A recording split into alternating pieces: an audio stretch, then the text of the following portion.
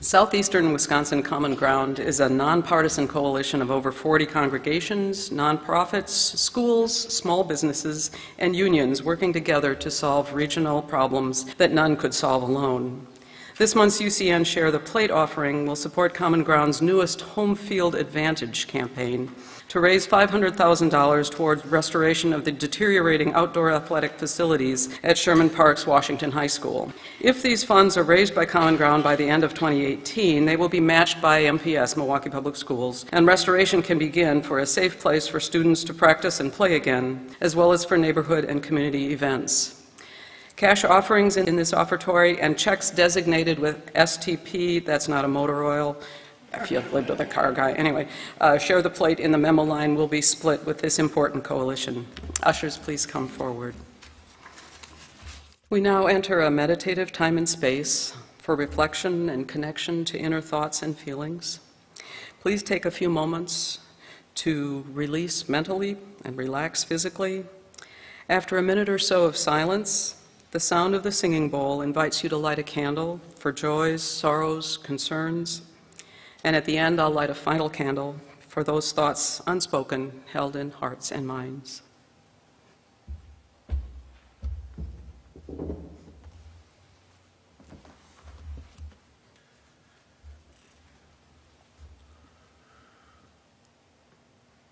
Jalaluddin, the Muslim mystic, said, Muslims say that the holy sanctuary of the Kaaba is built after the form of the tabernacle of God in heaven, which is made out of a single ruby.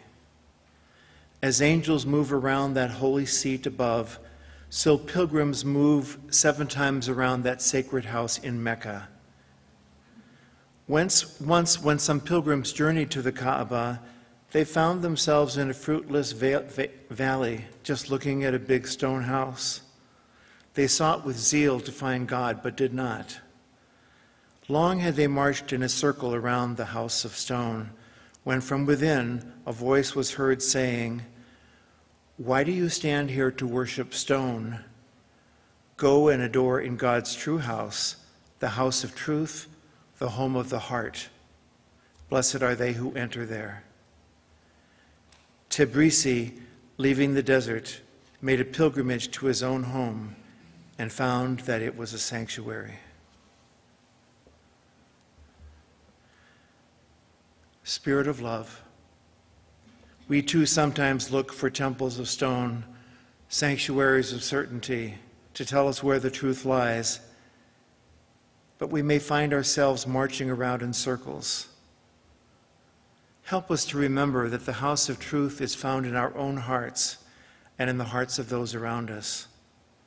Blessed are we when we enter there, leaving the desert behind to make a pilgrimage to our own heart and home, only to find it is a sanctuary of truth and love and holiness. Blessed be. Amen.